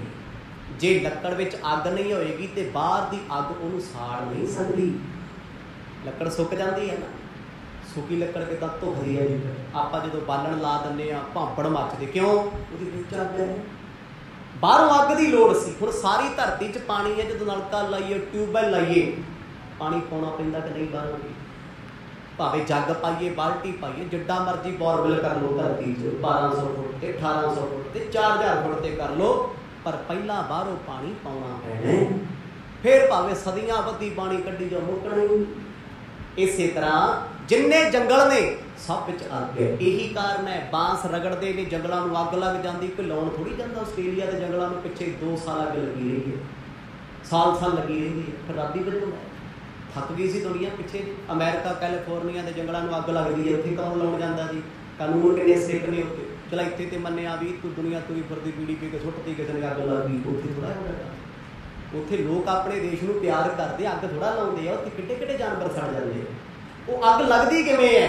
ਕਿਉਂਕਿ ਇਸ ਲੱਕੜ ਵਿੱਚ ਅੱਗ ਹੈ। ਤੇ ਜਦੋਂ ਉਹਨੂੰ ਭਾਇਆ ਪ੍ਰਗਟ ਹੋ ਗਈ, ਨਹੀਂ ਹੈ, ਲੱਭਦੀ ਨਹੀਂ ਹੈ। ਆ ਜਿੰਨੇ ਫਲ, ਫੁੱਲ, ਬੂਟੇ ਲੱਗੇ ਆ ਨਾ ਇਹਨਾਂ ਵਿੱਚ ਅੱਗ ਅੱਜ ਵੀ ਹੈ। ਇਹੀ ਕਾਰਨ ਹੈ ਜਦੋਂ ਅੱਗ ਦੀ ਖੋਜ ਹੋਈ, ਲੱਕੜ ਤੇ ਲੱਕੜ ਰਗੜੀ ਗਈ, ਕਦੇ ਪੁਰਾਣਾ ਸਮਾਂ ਵੇਖੋ ਵੀ ਅੱਗ ਦੀ ਖੋਜ ਕਿੱਥੋਂ ਹੋਈ ਸੀ ਆਦਿ ਮਾਨਵ ਨੇ ਕੀਤੀ ਲੱਕੜ ਤੇ ਲੱਕੜ ਘਸਾਈ ਫਿਰ ਪੱਥਰ ਘਸਾਏ ਅੱਗ ਸੀ ਹੁਣ ਮਹਾਰਾਜ ਇਹ ਪ੍ਰਮਾਣ ਕਿੱਥੇ ਦੇ ਰਹੇ ਆ? ਸਗਲ ਬਨਸਪਤ ਮਹਿ ਵੈ ਸੰਦਰ, ਸਗਲ ਦੂਧ ਮਹਿ ਕੀਆ ਇਹ ਪ੍ਰਮਾਣ ਕਿਹੜਾ ਹੈ? ਮਹਾਰਾਜ ਕਹਿੰਦੇ ਆ ਜਿਹੜਾ ਤੇਰਾ ਪਰਿਵਾਰ ਆ ਨਾ, ਪਰਿਵਾਰ, ਇਹ ਬਨਸਪਤੀ ਹੈ। ਇੱਥੇ ਅਰਥ ਬਹੁਤ ਗਹਿਰੇ ਨੇ, ਬੜੇ ਡੂੰਘੇ ਆ ਜੀ। ਐਵੇਂ ਖੇਡ ਨਹੀਂ ਆ ਗੁਰਬਾਣੀ। ਆਪਾਂ ਤੇ ਜਿਹੜੇ ਕੱਲ ਅਰਥ ਕੀਤੇ ਆ ਨਾ, ਇੱਕ ਪੰਕਤੀ ਦੇ, ਉਹਨੂੰ ਜੇ 8 ਦਿਨ ਪੜ੍ਹਦੇ ਰਵਾਂਗੇ ਪੰਕਤੀ ਨੂੰ 8 ਦਿਨ ਵੱਖ ਵੱਖ ਵੱਖ ਵੱਖ ਅਰਥ ਹੋਣਗੇ। ਇੱਕ ਸ਼ਬਦ ਸਾਗਰ ਹੈ, ਸਮੁੰਦਰ ਹੈ, ਐਵੇਂ ਗੁਰੂ ਗ੍ਰੰਥ ਸਾਹਿਬ ਨੂੰ ਗਹਿਰ ਗੰਭੀਰ ਸਾਗਰ ਕਿਹਾ ਨਹੀਂ ਹੁੰਦਾ ਅਥਾਹ ਗੁਰੂ ਸਾਹਿਬ ਦੱਸਦੇ ਕਹਿੰਦੇ ਆ ਸਰੀਰ ਤੇਰਾ ਨੇ ਇੱਕ ਬਨਸਪਤੀ ਹੈ। ਇੱਕ ਪਿੰਡ ਹੈ, ਇੱਕ ਮਿੱਟੀ ਦਾ ਪੁਤਲਾ ਹੈ। ਹੁਣ ਜਿਵੇਂ ਸਮੁੰਦਰ ਵਿੱਚ ਮਹਾਦੀਪ ਪਏ ਆ। ਕਿੱਡੇ ਕਿੱਡੇ ਟਾਪੂ ਨੇ ਆਸਟ੍ਰੇਲੀਆ ਵਰਗੇ ਮੁਲਕ ਨਿਊਜ਼ੀਲੈਂਡ ਵਰਗੇ ਟਾਪੂ ਨੇ ਨਾ। ਅੰਡੇਮਾਨ ਨਿਕੋਬਾਰ ਟਾਪੂ ਨੇ ਕਿੱਥੇ ਨੇ ਉਹ? ਸਮੁੰਦਰ 'ਚ ਨੇ, ਪਾਣੀ 'ਚ ਨੇ। ਤੇ ਜੇ ਰੱਬ ਚਾਹੇ ਤੇ ਉਹ ਮਿੱਟੀ ਹੈ ਕੀ ਚੀਜ਼ ਹੈ? ਸਮੁੰਦਰ ਦਾ ਪਾਣੀ ਉਹਨੂੰ ਖੋਰਦਾ ਕਿਉਂ ਨਹੀਂ ਗਾਲਦਾ ਕਿਉਂ ਨਹੀਂ? ਆਪਾਂ ਦੋ ਦਿਨ ਪਾਣੀ ਪਾ ਦਈਏ ਨਾ ਕਿਸੇ ਬੂਟੇ ਦੇ ਗਮਲੇ 'ਚ ਗੜ ਜਾਂਦਾ ਉਹ। ਮਿੱਟੀ ਉਗਲ ਜਾਂਦੀ ਹੈ ਗੜ ਜਾਂਦੀ ਹੈ। ਉਹ ਕਿਉਂ ਨਹੀਂ ਰੱਬ ਵਸਦਾ ਹੈ। ਇਸ ਧਰਤੀ ਦੇ ਥੱਲੇ ਹਮੇਸ਼ਾ ਅੱਗ ਬਲਦੀ ਭਾਂਬੜ ਮੱਚਦੇ ਆ। ਤੇ ਅੱਜ ਦੀ ਸਾਇੰਸ ਸਿੱਧ ਕਰ ਰਹੀ ਹੈ। ਜੇ ਸੂਰਜ ਦਾ ਇਫੈਕਟ ਧਰਤੀ ਤੇ ਪੈਂਦਾ ਕਿਉਂ ਪੈਂਦਾ ਹੈ? ਸੇਕ ਕਿਉਂ ਨਿਕਲਦਾ? ਦੇਖੋ ਸਾਰਾ ਦਿਨ ਸੂਰਜ ਚੜਿਆ ਸੇਕ ਮਾਰਦਾ ਨਾ। ਕਿਉਂ? ਕਿਉਂਕਿ ਧਰਤੀ ਦੇ ਥੱਲੇ ਵੀ ਹੈ ਇਸੇ ਧਰਤੀ 'ਤੇ ਤੁਸੀਂ ਜਾ ਕੇ ਵੇਖੋ ਜਵਾਲਾਮੁਖੀ ਫੱਟ ਦੇ ਉੱਤੇ ਬਰਫਾਂ ਜੰਮੀਆਂ ਹੁੰਦੀਆਂ ਉੱਥੋਂ ਅੱਗ ਦਾ ਭਾਂਪੜ ਨਿਕਲਦਾ। ਮਨੀਕਰਨ ਸਾਹਿਬ ਜਾਓ ਉੱਬਲਦਾ ਪਾਣੀ ਨਿਕਲਦਾ ਉੱਤੇ ਬਰਫ ਜੰਮੀ ਸਾਹਮਣੇ ਨਦੀ ਪਾਰਵਤੀ ਚੱਲਦੀ ਹੈ। ਠੰਡਾ ਪਾਣੀ ਹੱਥ ਨਹੀਂ ਲੱਗਦਾ। ਕੀ ਹੈ? ਅੱਗ ਹੈ। ਸਤਿਗੁਰ ਕਹਿੰਦੇ ਤੇਰੇ ਸਰੀਰ ਦੇ ਵਿੱਚ ਵਿਕਾਰਾਂ ਦੀ ਅੱਗ ਹੈ ਇਹ ਚ ਕਾਮ ਦੀ ਅੱਗ ਹੈ ਕ੍ਰੋਧ ਦੀ ਅੱਗ ਹੈ। ਮੈਂ ਕਹਿੰਦਾ ਤੁਸੀਂ ਗੁੱਸੇ ਚ ਆ ਜਾਓ ਤੁਹਾਡੇ ਹੱਥ ਨੂੰ ਹੱਥ ਨਹੀਂ ਕੋਈ ਪਾ ਸਕਦਾ ਟੈਂਪਰੇਚਰ ਵੇਖੋ ਕਿੱਥੇ ਚੜਿਆ ਗੁੱਸਾ ਚੜਦਾ ਜਦ। ਕੋਈ ਇਨਫੈਕਸ਼ਨ ਬਾਡੀ ਵਿੱਚ ਆਉਂਦਾ ਟੈਂਪਰੇਚਰ ਵੱਧਦਾ ਨਾ 102 103 ਕਿੱਥੇ ਜਾ ਕੇ ਸੇਕ ਹੈ ਨਾ। ਗੁਰੂ ਸਾਹਿਬ ਕਹਿੰਦੇ ਆ ਬਨਸਪਤੀ ਰੂਪ ਸਰੀਰ ਹੈ ਤੇਰਾ। ਇਸ ਅੱਗ ਤੋਂ ਤੇਰਾ ਭੈਣ ਭਰਾ ਪਰਿਵਾਰ ਪੈਦਾ ਹੋਇਆ ਇਸੇ ਅੱਗ ਤੋਂ ਹੀ ਪੈਦਾ ਹੋਇਆ। ਜਦੋਂ ਇਮਿਊਨਿਟੀ ਜੇ ਨਾ ਇਲੈਕਟ੍ਰਿਕ ਕਰੰਟ ਬਾਡੀ ਦਾ ਤਾਂ ਡਾਕਟਰ ਵੀ ਕਹਿੰਦੇ ਤੂਰੇ ਚ ਰੋਗਾਂ ਨਾਲ ਲੜਨ ਨਾਲ ਸ਼ਕਤੀ ਨਹੀਂ ਹੈਗੀ ਤੂੰ ਨਹੀਂ ਬਚਦਾ ਉਹ ਪ੍ਰਮਾਤਮਾ ਨੇ ਅੱਗ ਪਾਈ ਹੋਈ। ਸਾਡੇ ਸਰੀਰ ਵਿੱਚ ਬਿਜਲੀ ਹੈ ਫਾਇਰ ਹੈ ਅੱਗ ਹੈ ਕਿੰਨੇ ਰੂਪਾਂ ਦੇ ਵਿੱਚ ਹੈ? ਸਾਗਰ ਪੰਡੈ ਪਾਇਆ। ਉਹ ਕੱਲੀ ਅੱਗ ਥੋੜੀ ਹੈ। ਅੱਗ ਤੇ ਪਾਣੀ ਦਾ ਮੇਲ ਕੋਈ ਨਹੀਂ। ਅਸੀਂ ਰੋਟੀਆਂ ਖਾ ਕੇ ਪਾਣੀ ਪੀਨੇ ਆ ਉਹ ਸਾਰਾ ਕੁਝ ਹੀ ਬਚ ਜਾਂਦਾ। ਆਖੋ ਸਤਨਾਮ। ਇਹ ਹੋਇਆ ਜੀ ਕਦੇ ਰੋਟੀ ਖਾ ਕੇ ਪਾਣੀ ਪੀਤਾ ਜੀ ਅੰਦਰ ਦੀ, ਹੁਣ ਜਠਰਾਗਨ ਬੁੱਝ ਗਈ ਜੀ ਦੁਬਾਰਾ ਭਾਂਬੜ ਮਚਾਉਣਾ ਪੈਣਾ ਕੁਝ ਬਾਹਰੋਂ ਆ ਕੇ ਖਾਓ ਹੁੰਦਾ ਉਹ ਪੱਥਰ ਵੀ ਸਾੜ ਦਿੰਦੇ ਸਾਗਰ ਪੰਡੈ ਪਾਇਆ। ਪੰਡੈ ਨਾਮ ਪੰਡ ਮਿੱਟੀ ਦੀ। ਕਹਿੰਦੇ ਇਸ ਮਿੱਟੀ ਦੀ ਪੰਡ ਵਿੱਚ 76% ਸਾਡੇ ਸਰੀਰ 'ਚ ਪਾਣੀ ਹੈ। ਜੇ ਸਰੀਰ ਨੂੰ ਮਿੱਟੀ ਕਹਿੰਦੇ ਆ ਨਾ, ਇਹ 'ਚ ਪਾਣੀ ਹੈ। ਕੱਲਾ ਪਾਣੀ ਨਹੀਂ ਹੈ। ਪਾਣੀ ਦੇ ਨਾਲ ਪ੍ਰਮਾਤਮਾ ਨੇ ਅੱਗ ਰੱਖੀ ਹੋਈ ਹੈ ਜੀ। ਵਾਤ, ਪਿੱਤ, ਕਫ, ਇਹ ਕੀ ਹੈ? ਬੜੀਆਂ ਗਹਿਰੀਆਂ ਚੀਜ਼ਾਂ ਨੇ। ਮੈਂ ਇਸ ਪਾਸੇ ਨਾ ਜਾਵਾਂ, ਸ਼ਬਦ ਦਾ ਫਿਰ ਵਿਸਥਾਰ ਬਹੁਤ ਹੋ।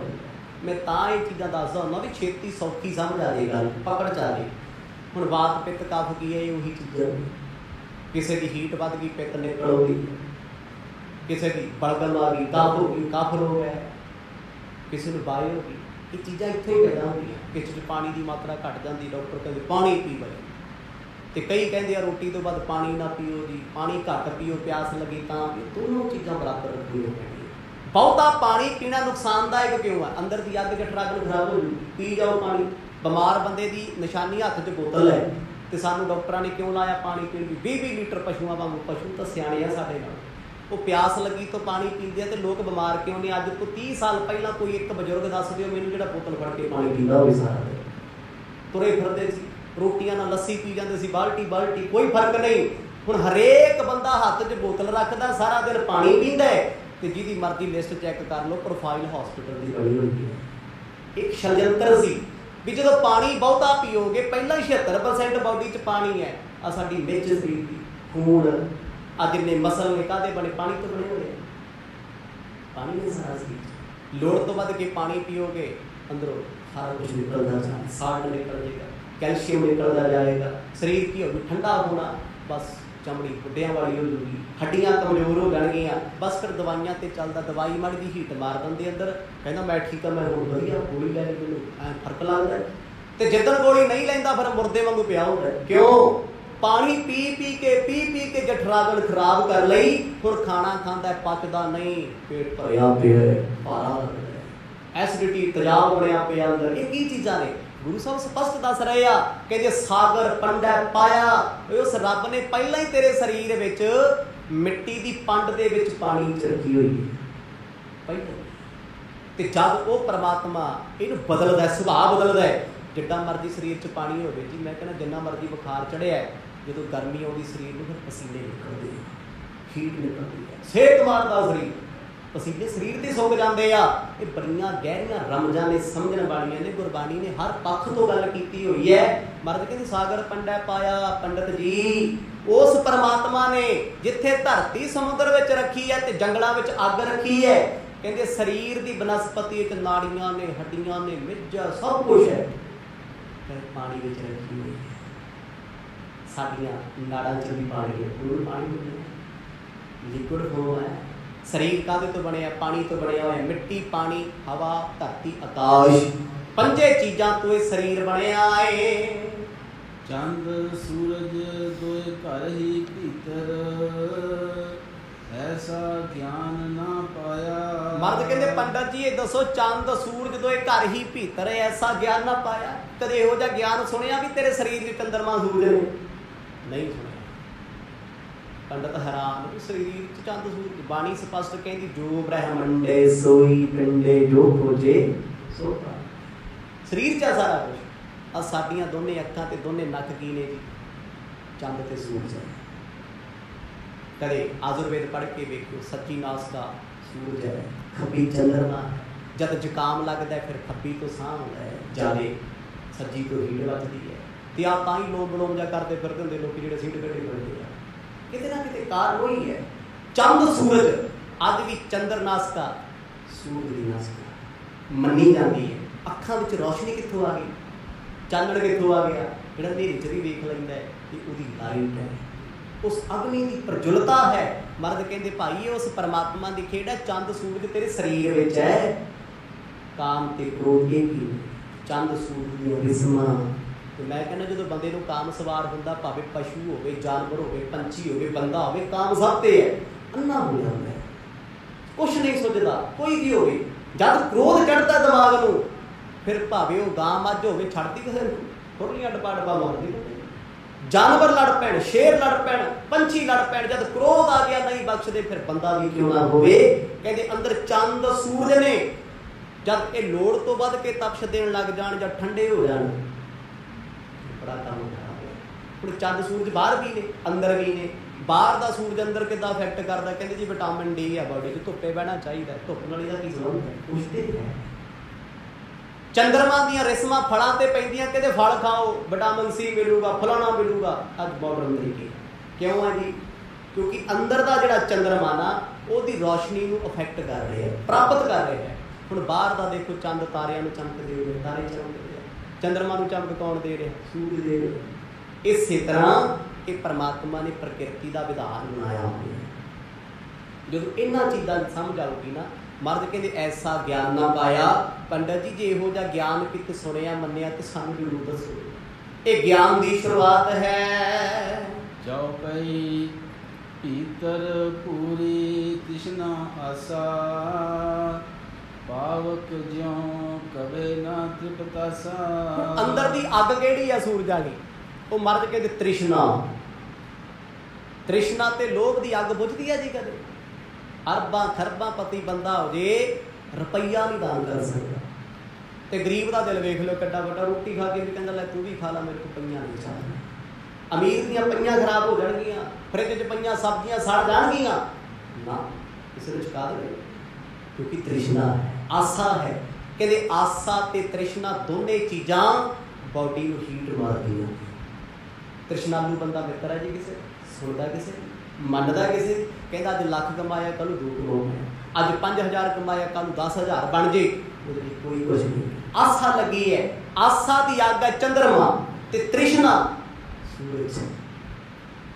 ਤੇ ਚੰਦਰਮਾ ਵੀ ਜਦੋਂ ਪੂਰਨਮਾਸ਼ੀ ਦਾ ਦਿਨ ਆਉਂਦਾ ਨਾ ਫਿਰ ਵੇਖਣ ਵਾਲਾ ਹੁੰਦਾ ਸਮੁੰਦਰ ਦਾ ਨਜ਼ਾਰਾ ਕਿਵੇਂ ਉਛਲਦਾ ਹੈ ਅੱਜ ਵੀ ਬੰਬੇ ਜਾ ਕੇ ਵੇਖੋ ਮੁੰਬਈ ਜਾਂ ਹੋਰ ਕਿਤੇ ਕਿਸੇ ਵੀ ਕੰਟਰੀ ਜਾ ਕੇ ਵੇਖੋ ਜਦੋਂ ਚੰਦਰਮਾ ਪੂਰਨਮਾਸ਼ੀ ਹੁੰਦੀ ਤੇ ਸਮੁੰਦਰਾਂ ਦੇ ਹਾਲ ਕੀ ਹੁੰਦੇ? ਜਵਾਰ ਘਾਟੇ ਵਾਲੇ। ਗੁਰੂ ਨਾਨਕ ਸਾਹਿਬ ਮਹਾਰਾਜ ਆਖਣ ਲੱਗੇ ਪੰਡਤ ਜੀ ਜਦ ਸਰੀਰ ਦੇ ਵਿੱਚ ਆਸਾ ਤ੍ਰਿਸ਼ਨਾ ਜਾਗਦੀ ਹੈ ਸੂਰਜ ਦੀ ਤਪਸ਼ ਪੈਂਦੀ ਹੈ। ਸਹਿਸ ਮੰਗ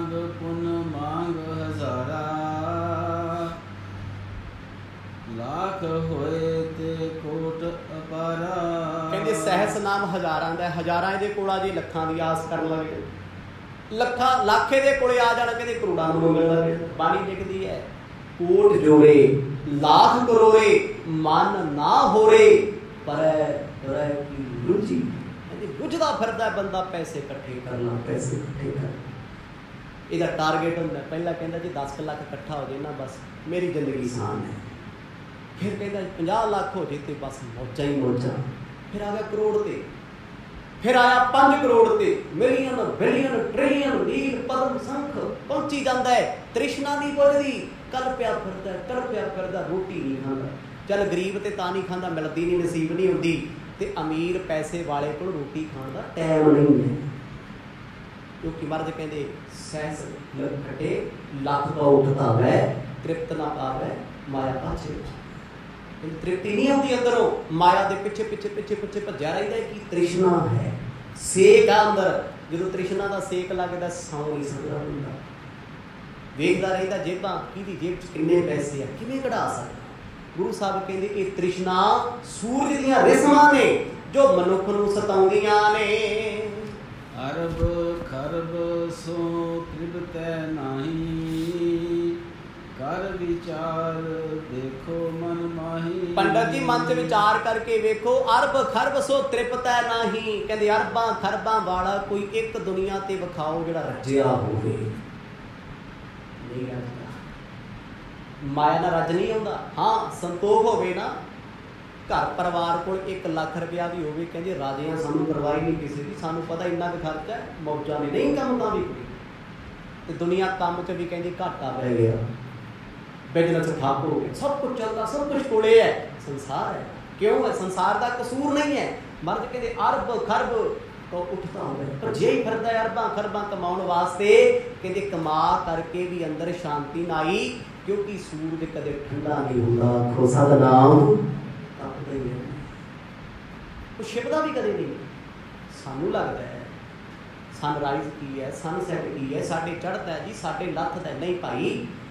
ਸਿਰਫ ਉਹਲੇ ਹੁੰਦਾ ਇੱਥੇ ਹਨੇਰਾ ਹੋ ਜਾਊਗਾ, ਅਮਰੀਕਾ 'ਚ ਚਾਨਣ ਉਸ ਪਾਸੇ ਦਰਿਆ ਜਦ ਉੱਥੇ ਚਾਨਣ ਹੋ ਗਿਆ, ਇੱਥੇ ਹਨੇਰਾ ਹੋ ਜਾਣਾ, ਧਰਤੀ ਦੇ ਗੋਲ ਚੱਕਰ ਕਰਕੇ ਸੂਰਜ ਦਾ ਹਮੇਸ਼ਾ ਇੱਦਾਂ ਭਲੇਖਾ ਰਹਿੰਦਾ ਵੀ ਇੱਥੇ ਹਨੇਰਾ ਹੋ ਗਿਆ, ਇੱਥੇ ਚਾਨਣ ਹੋ ਗਿਆ, ਜੇ ਦੂਜੇ ਪਾਸੇ ਚਾਨਣ ਨਹੀਂ ਹੁੰਦਾ।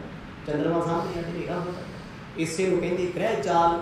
ਪਰ ਕਦੇ ਵੇਖਿਆ ਵੀ ਸੂਰਜ ਸ਼ਾਮ ਨੂੰ ਠੰਡਾ ਹੋ ਗਿਆ ਹੋਵੇ ਤੇ ਸਵੇਰੇ ਸਵੇਰੇ ਫੇਰ ਗਰਮ ਹੋ ਨਹੀਂ। ਉਹ ਹਰ ਵੇਲੇ ਤਪਦਾ ਹੈ। ਗੁਰੂ ਸਾਹਿਬ ਕਹਿੰਦੇ, ਈਰਖਾ ਫਿਰ ਅੰਦਰੋਂ ਪੈਦਾ ਹੁੰਦੀ ਤ੍ਰਿਸ਼ਨਾ ਦੇ ਵਿੱਚੋਂ ਈਰਖਾ ਆਉਂਦੀ ਹੈ। ਫਲਾਣਾ ਇੰਨੇ ਪੈਸੇ ਇਕੱਠੇ ਕਰਦਾ, ਇੰਨੀ ਮਾਇਆ ਮੇਰੇ ਕੋਲ ਕਿਉਂ ਨਹੀਂ, ਉਹ ਵੱਧ ਇਕੱਠੇ ਕਰ ਗੁਰੂ ਸਾਹਿਬ ਕਹਿੰਦੇ, ਪੰਡਤ ਜੀ, ਇਹਦਾ ਹਿਸਾਬ ਦੱਸੋ ਵੀ ਸੂਰਜ ਨੂੰ ਪਾਣੀ ਪਾਇਆ, ਠੰਡਾ ਕੀਤਾ ਜਾ ਸਕਦਾ ਹੈ? ਨਹੀਂ ਨਾ। ਮਾਇਆ ਇਕੱਠੀ ਕਰ ਕਰਕੇ ਕਰ ਕਰਕੇ, ਪਦਾਰਥ ਇਕੱਠੇ ਕਰਕੇ, ਸਿਫਤਾਂ ਸੁਣ ਸੁਣ ਕੇ, ਸੁਣ ਸੁਣ ਕੇ ਰੱਜਿਆ ਕੋਈ? ਕੋਈ ਤ੍ਰਿਪਤ ਹੁੰਦਾ। ਗੁਰਦੇਵ ਆਖਣ ਲੱਗੇ, ਕਹਿੰਦੇ ਆ ਮਨ ਰਾਜਾ ਇਸ ਨਗਰੀ ਤੇ ਰਾਜ ਕਰਨ ਵਾਲਾ ਜਿੱਥੇ ਕਾਮ ਕ੍ਰੋਧ ਲੋਭ ਹੰਕਾਰ ਵਰਗੇ ਠੱਗਾਂ ਨੂੰ ਮਿੱਤਰ ਬਣਾਈ ਫਿਰਦਾ ਨਾ, ਉੱਥੇ ਕਹਿੰਦੇ ਆਸਾ ਤ੍ਰਿਸ਼ਨਾ ਦੇ ਚੰਦ ਸੂਰਜ ਵਿੱਚ ਇਹਦੀ ਨਗਰੀ ਸਰੀਰ ਤਪ ਰਿਹਾ ਖੋ ਸਤਨਾਮ ਤਪਿਆ ਪਿਆ। ਅੰਦਰੋਂ ਅੰਦਰ ਸੜਦਾ ਜਾਂਦਾ ਏ। ਜਿਹ ਆਗੇ ਹੋਇ ਰੰਚਕ ਮੇਰ ਉਦਰ ਆਕਾਸ਼ ਸਸ ਸਰਸੇਰ ਹੁਣ ਉਸ ਬੰਦੇ ਦਾ ਜ਼ਿਕਰ ਕਰਦੇ ਕਹਿੰਦੇ ਉਮਰ ਭਾਵੇਂ ਛੋਟੀ ਐ ਇਸ ਰਾਜੇ ਦੀ ਮਨ ਦੀ, ਕਹਿੰਦੇ ਮਨ ਦਾ ਹੰਕਾਰ ਕਿਦਾਂ ਦਾ ਹੈ ਸੁਮੇਰ ਪਰਬਤ ਦੁਨੀਆ ਦਾ ਸਭ ਤੋਂ ਉੱਚਾ ਪਰਬਤ ਮੰਨਿਆ ਜਾਂਦਾ। ਕਹਿੰਦੇ ਸੁਮੇਰ ਵਾਂਗੂ ਆਕੜ ਹੈ ਇਹਦੇ ਚ ਹੰਕਾਰ। ਤੇ ਸਮੁੰਦਰ ਵਰਗਾ ਢਿੱਡ ਹੈ ਇਹਦਾ। ਜਿੰਨਿਆਂ ਮਰਜ਼ੀ ਨਦੀਆਂ ਨਾਲੇ ਸਿੱਟੀ ਜਾਂ ਸਮੁੰਦਰ ਚ ਭਰਦਾ ਹੈ ਹੰਕਾਰੀ ਬੰਦਾ, ਤ੍ਰਿਸ਼ਨਾਲੂ ਬੰਦਾ, ਆਕੜ ਘੋੜਾ ਬੰਦਾ ਜ਼ਿੰਦਗੀ ਪਰ ਜਿੰਨੀ ਮਰਜ਼ੀ ਸਿਫਤ ਸੁਣੇ ਜਿੰਨਾ ਮਰਜ਼ੀ ਸਿਆਣਾ ਬਣੇ ਉਹ ਰੱਜ ਨਹੀਂ ਸਕਦਾ। ਭਾਈ ਗੁਰਦਾਸ ਲਿਖਦੇ ਆ ਰੱਜ ਨਾ ਕੋ ਜੀਵਿਆ ਕੂੜੇ ਪ੍ਰਵਾਸੇ। ਕਹਿੰਦੇ ਦੁਨੀਆ ਦੇ ਪ੍ਰਵਾਸੇ ਝੂਠੇ ਆ ਕੋਈ ਨਹੀਂ ਰੱਜਦਾ ਤ੍ਰਿਪਤ ਨਹੀਂ ਹੋ ਸਕਦਾ। ਸੁਨੋ ਬਨਾਸਪਤ ਸੰਸਾਕਾ ਤੀ ਸੁਤਾ ਸੁਤ ਸਿਮਧੀ ਸਾਕਾ।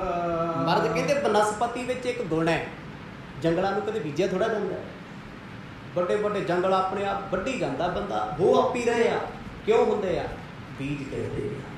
ਕਹਿੰਦੇ ਮਨੁੱਖ ਜਦ ਵਿਕਾਰਾਂ ਦੀ ਅੱਗ ਵਿੱਚ ਸੜਦਾ ਹੈ, ਧੀ, ਪੁੱਤਰ, ਭੈਣ, ਭਰਾ, ਇਹਨਾਂ ਨੂੰ ਜਨਮ ਦਿੰਦਾ ਹੈ, ਇਕੱਲੇ ਮਨੁੱਖ ਦਾ ਜ਼ਿਕਰ ਨਹੀਂ ਕਰ ਰਹੇ। ਸਾਰੀ ਸ੍ਰਿਸ਼ਟੀ ਦਾ। ਵਿਕਾਰਾਂ ਨੂੰ ਜਨਮ ਦਿੱਤਾ, ਵੱਡੇ ਵੱਡੇ ਪਰਿਵਾਰ ਹੋਏ। ਵਿਕਾਰ ਤੋਂ ਹੋਏ, ਇਹ ਸੱਚ ਹੈ। ਪਰਿਵਾਰਾਂ ਦੀ ਦੁਨੀਆ ਦੀ ਉਤਪਤੀ ਸਿਰਫ ਕਾਮ ਕਾਮ ਕਾਮ ਤੋਂ ਹੋਈ ਹੈ।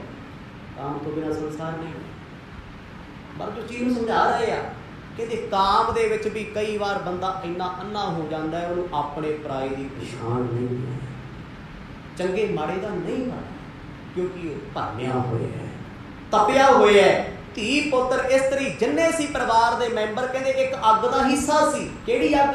ਜੋ ਬਨਸਪਤੀ ਵਿੱਚ ਸੀ, ਜੋ ਸਰੀਰ ਵਿੱਚ ਸੀ। ਕਹਿੰਦੇ, ਉਹ ਵੀ ਕਹਿੰਦੇ ਆ, ਮੈਨੂੰ ਆਹ ਦੇ ਦੇ, ਮੈਨੂੰ ਆਹ ਦੇ ਦੇ। ਗੁਰਬਾਣੀ ਇਹਨੂੰ ਸਿੱਧ ਕਰਦੀ ਹੈ, ਕਾਮਣ ਲੋੜੇ ਸੋਈ ਨਾ ਰੂਪਾ ਮਿੱਤਰ ਲੋੜੇ ਸੁਖਾ ਦਾਤਾ। ਕਹਿੰਦੇ, ਮਿੱਤਰ ਕਹਿੰਦੇ, ਖਵਾ ਯਾਰ ਕੋਈ ਛੱਜ ਸਤਿਗੁਰ ਕਹਿ ਰਹੇ ਬਾਣੀ ਔਰਤ ਕੀ ਕਹਿੰਦੀ ਆ ਘਰ ਵਾਲੀ? ਕਾਮਣ ਲੋੜੇ ਸੋਈ ਨਾ ਸੋਨਾ ਦੇ ਦੇ, ਕੱਪੜੇ ਲਿਆ ਦੇ, ਪੈਸੇ ਦੇ ਦੇ। ਆ ਚਾਹੀਦਾ ਉਹ ਚਾਹੀਦਾ ਕਹਿੰਦੇ, ਉਹਦੀ ਸਿਰਫ ਮਨੁੱਖ ਤੋਂ ਪਤੀ ਤੋਂ ਪ੍ਰਾਪਤੀ ਹੈ, ਪਦਾਰਥਾਂ ਦੀ ਹੋਰ ਕੋਈ ਮਤਲਬ ਮਿੱਤਰ ਕਹਿੰਦੇ ਖਵਾ ਪਲਾ ਸਤਿਗੁਰ ਕਹਿੰਦੇ ਬਨਸਪਤੀ ਪੈਦਾ ਹੋਈ ਹੈ ਬਨਸਪਤੀ ਦਾ ਸੁਭਾਅ ਹੈ। ਜਿਹਨੂੰ ਮਰਜ਼ੀ ਛੇੜ ਕੇ ਵੇਖ ਲਾ ਉਹੀ ਕੁੱਟਣ ਨੂੰ ਕਰਦਾ ਖੁਸਤ ਨਾਮ ਘਰ ਵਾਲਾ ਘਰ ਵਾਲੀ ਨੂੰ ਕਹਿੰਦਾ ਆਪ ਬੋਲ ਕੇ ਉਹਦਾ ਪਤੀ ਪਤਨੀ ਨੂੰ ਭੈਣ ਭਰਾ ਨੂੰ ਭਰਾ ਭਰਾ ਨੂੰ ਖਾਣ ਨੂੰ ਪੈਂਦੇ ਕਹਾਉਂਦੇ ਨਹੀਂ ਕਿਉਂ? ਕਿਉਂਕਿ ਉਸ ਬਨਸਪਤੀ ਦੀ ਅੱਗ ਚੋਂ ਪੈਦਾ ਹੋਏ ਜਦ ਬਨਸਪਤੀ ਰਗੜ ਖਾਂਦੀ ਹੈ ਨਾ ਆਪਸ ਵਿੱਚ ਪਾਂਬੜ ਚ ਚੰਗਲ ਆ ਜਦ ਪਰਿਵਾਰਾਂ ਵਿੱਚ ਕਲੇਸ਼ ਹੁੰਦਾ ਹੈ ਕਹਿੰਦੇ ਇਸ ਮਾਇਆ ਕਰਕੇ ਹੁੰਦਾ ਤ੍ਰਿਸ਼ਨਾ ਕਰਕੇ ਹੁੰਦਾ ਹਉਮੈ ਕਰਕੇ ਹੁੰਦਾ ਹੈ। ਇਹਦੇ ਵਿੱਚ ਫਸਿਆ ਹੋਇਆ ਬੰਦਾ ਇਸ ਬਨਸਪਤੀ 'ਚ ਉਲਝਿਆ ਰਹਿੰਦਾ ਹੁਣ ਇੱਕ ਬੰਦਾ ਜੰਗਲਾਂ 'ਚ ਜਾਵੇ ਜੀ, ਬੜੇ ਲੋਕ ਨੇ ਜੰਗਲਾਂ 'ਚ ਹੀ ਮਰ ਮੁਰ ਜਾਂਦੇ ਵਿਚਾਰੇ, ਰਾਹ ਨਹੀਂ ਲੱਭਦਾ, ਦਿਸ਼ਾ ਭਰਮ ਹੋ ਜਾਂਦਾ ਹੈ। ਸਤਿਗੁਰ ਕਹਿੰਦੇ ਆ, ਮਾਇਆ ਵਿੱਚ ਭਰਮ ਕਰਕੇ ਇਸ ਬਨਸਪਤੀ 'ਚ ਐਸਾ ਦਿਸ਼ਾ ਭਰਮ ਹੋਇਆ, ਇਸ ਤਪਸ਼ ਵਿੱਚ ਸੜਦਾ ਫਿਰਦਾ ਏ। ਜਿਉ ਤਨ ਬ੍ਰਿਧ ਹੋਏ ਤਿਨ ਬਾਧਾ ਨਿਸਬਾਸੁਰ ਜਿਨ ਮਹਿ ਮਨ ਫਾਧਾ। ਦਿਨ ਰਾਤ ਕਹਿੰਦੇ ਮਨ ਮਨੁੱਖ ਦਾ ਫਸਿਆ ਫਾਈਆਂ ਦੇ ਵਿੱਚ ਤੇ ਸਰੀਰ ਵਿੱਚ ਅੱਗ ਹੈ, ਇਹੀ ਕਾਰਨ ਹੈ। ਜਦ ਇਸ ਸਰੀਰ ਨੂੰ ਲੱਕੜਾਂ ਵਿੱਚ ਚਿਣਿਆ ਜਾਂਦਾ 4 ਘੰਟੇ ਵਿੱਚ ਸੜ ਕੇ ਸਵਾਹ ਹੋ ਜਾਂਦਾ 4 ਘੰਟੇ ਦੇ ਸੜ ਠੰਡਾ ਹੋਣ ਨੂੰ ਟਾਈਮ ਲੱਗਦਾ ਵੀ ਚਲ ਦੋ ਦੋ ਦਿਨ ਸਿਵੇ ਚੱਲਦੇ ਰਹਿੰਦੇ ਵੈਸੇ 4 ਘੰਟਿਆਂ 'ਚ ਰਾਖ ਬਣ ਜਾਂਦੀ ਲੱਕੜ 'ਚ। ਜੇ ਕਬਰ ਵਿੱਚ ਵੀ ਦਫਨ ਕਰਦੇ, ਉੱਥੇ ਵੀ ਸੜਦਾ ਹੈ। ਸੜਨ ਦੀ ਪ੍ਰਕਿਰਿਆ ਹੁੰਦੀ ਹੈ, ਗਲ ਜਾਂਦਾ, ਸਰੀਰ ਕੀੜੇ ਪੈਂਦੇ ਆ, ਗਲੀ ਜਾਂਦਾ ਹੈ ਕਬਰ ਵਿੱਚ ਪਿਆ, ਉਹਨੂੰ ਕਹਿੰਦੇ ਅਜ਼ਾਬ। ਜਦੋਂ ਰੱਬ ਸਜ਼ਾ ਦਿੰਦਾ, ਇਸਲਾਮ ਵਾਲੇ ਕਹਿੰਦੇ, ਮਾੜੇ ਕੰਮ ਨਾ ਕਰੀਏ, ਕਬਰ ਵਿੱਚ ਅਜ਼ਾਬ ਹੋਏਗਾ। ਅਜ਼ਾਬ ਦੀ ਰਾਤ ਹੋਏਗੀ ਉਸ ਵੇਲੇ ਸਾਧ ਮੰਗਿਆ ਜਾਣਾ, ਕੀੜੇ ਪੈਣਗੇ, ਗਲੇਗਾ, ਸੜੇਗਾ, ਅੱਗ ਲੱਗ ਜਾਂਦੀ ਕਬਰਾਂ ਨੂੰ ਅੱਜ ਵੀ ਲੱਗਦੀ ਹੈ। ਕਬਰਾਂ ਨੂੰ ਅੱਗ ਕਿਉਂ ਲੱਗਦੀ ਹੈ? ਇਹੀ ਕਾਰਨ ਕਿਉਂਕਿ ਅੱਗ ਤੋਂ ਬਣੇ। ਨੇ। ਭੂਤ ਪ੍ਰੇਤ ਕੌਣ ਨੇ? ਅੱਗ ਤੋਂ ਬਣੇ ਹੋਏ ਤੁਸੀਂ ਸੁਭਾਵਿਕ ਚੀਜ਼ਾਂ ਨੇ ਕਦੇ ਫੀਲ ਕਰਕੇ ਵੇਖੋਗੇ એનર્ਜੀ ਹੈ। ਮੀਟਰ ਬਣਾਏ, ਕਿਉਂ ਬਣਾਏ? એનર્ਜੀ ਹੈ ਸੇਕ ਹੈ ਇਲੈਕਟ੍ਰਿਸਿਟੀ ਹੈ। ਅੱਗ ਹੈ। ਇਸੇ ਤਰ੍ਹਾਂ ਮਨੁੱਖ ਦੇ ਸਰੀਰ ਅੰਦਰ ਵੀ ਅੱਗ ਹੈ ਤੇ ਰੂਹ ਵਿੱਚ ਵੀ ਅੱਗ ਹੈ। ਇਸੇ ਅੱਗ ਕਰਕੇ ਇਹ ਚ ਟਰੈਵਲ ਕਰਦਾ ਫਿਰਦਾ ਬਨਸਪਤੀ ਵਿੱਚ, ਸਰੀਰ ਵਿੱਚ, ਦੁਨੀਆ ਵਿੱਚ, ਸੰਸਾਰ ਬ੍ਰਹਿਮੰਡ ਵਿੱਚ। ਡੁੱਗੀਆਂ ਹੋ ਬਾਣੀ ਗੁਰੂ ਨਾਨਕ ਸਾਹਿਬ ਮਹਾਰਾਜ ਕਹਿੰਦੇ, ਪੰਡਤ ਜੀ, ਕਿਰਪਾ ਕਰਕੇ ਦੱਸੋ ਕਿ ਤੁਸੀਂ ਇਸ ਅੱਗ ਤੋਂ ਬਾਹਰ ਹੋ? ਕਿਉਂਕਿ ਸਤਿਗੁਰਾਂ ਦੇ ਪਿਤਾ ਜੀ ਕਹਿ ਰਹੇ ਆ ਨਾ ਮੂਲ ਚੰਦ ਜੀ ਸੋਹਰਾ ਸਾਹਿਬ ਵੀ ਨਾਨਕ ਜੀ ਤੁਸੀਂ ਘਰ ਪਰਿਵਾਰ ਛੱਡੀ ਫਿਰਦੇ ਹੋ ਮਾਇਆ ਲਟਾਈ। ਕਹਿੰਦੇ ਨਹੀਂ ਮਨੁੱਖ ਮਾਇਆ ਲੁੱਟਣ ਵਾਸਤੇ ਘਰ ਪਰਿਵਾਰ ਨੂੰ ਬਰਬਾਦ ਕਰਦਾ ਫਿਰਦਾ ਕੋ ਸਦ ਨਾਮ ਪੈਸੇ ਕਮਾ ਕੇ ਲੈ ਕੇ ਉਹਦੇ ਪਿੱਛੇ ਘਰੇ ਲੜੀ ਜਾਂਦੇ। ਲੜਦਾ ਕਰੇ ਪੈਸੇ ਕਿਉਂ ਲਾਤੇ ਕਿੱਥੇ ਲਾਤੇ? ਭਾਈ ਇਹ ਖਰਚਣ ਵਾਸਤੇ ਸੀ। ਦਿਨ ਰਾਤ ਕਿਹਦੇ ਵਾਸਤੇ ਭੱਜਿਆ ਫਿਰਦਾ ਸੀ ਵੀ ਲੱਖਾਂ ਕਮਾਈਏ ਪਰਿਵਾਰ ਇਕੱਠੇ ਬਹਿ ਕੇ ਖਾਵਾਂ ਪੀਵਾਂਗੇ ਮੌਜਾਂ ਕਰਾਂਗੇ। ਮੌਜ ਕਿਸੇ ਨੂੰ ਕਰਨੀ ਨਹੀਂ। ਮਰਜ਼ੀ ਬਿਨਾ ਕਿਸੇ ਨੂੰ ਖਾਣ ਨਹੀਂ ਦਿੰਦਾ। ਕਹਿੰਦੇ ਉਹ ਸੂਰਜ ਦੀ ਅੱਗ ਅਜੇ ਵੀ ਸੜ ਸੜ ਕੇ ਬਨਸਪਤੀ ਤੇ ਸੇਕ ਭਰੀ ਜਾਂਦੀ ਹੈ। ਕੋਈ ਪਤਾ ਨਹੀਂ ਕਦ ਭਾਂਬੜ ਮੱਚ ਜੇ ਕਿ ਕਦ ਮਚਾ ਦੇਵੇ ਕਲੇਸ਼ ਪੰਡਤ ਸੁਣ ਕੇ ਸੁਣ ਹੋ ਗਿਆ ਵੀ ਮੇਰੇ ਕੋਲ ਤਾਂ ਜਵਾਬ ਹੈ। ਮੈਂ ਕੀ ਬੋਲਾਂ? ਤੂੰ ਸਮਾਂ ਬਿਲਕੁਲ ਸਮਾਪਤ ਹੈ ਜੀ। ਸ਼ਬਦ ਦਾ ਇੱਕ ਬੰਦ ਰਹਿ ਗਿਆ ਕਿਉਂਕਿ ਗੁਰਬਾਣੀ ਦਾ ਜਦੋਂ ਆਪਾਂ ਵਿਚਾਰ ਕਰਦੇ ਆ ਨਾ ਫਿਰ ਆਨੰਦ ਇੰਨਾ ਆਉਂਦਾ ਜਦੋਂ ਸੁਰਤ ਜੁੜ ਜੇ ਫਿਰ ਸਮਝ ਨਹੀਂ ਦੁਨੀਆ ਦੀ ਹੁੰਦੀ ਕਿੱਥੇ ਬੈਠੇ। ਜਿਵੇਂ ਜਿਵੇਂ ਮਰਜ਼ ਕਿਰਪਾ ਕਰਨਗੇ। ਕੱਲ ਦੀ ਦੀਵਾਨ ਸਰਵਰ ਕਰਾਂਗੇ? ਵਾਹਿਗੁਰੂ ਵਾਹਿਗੁਰੂ ਵਾਹਿਗੁਰੂ ਵਾਹਿਗੁਰੂ।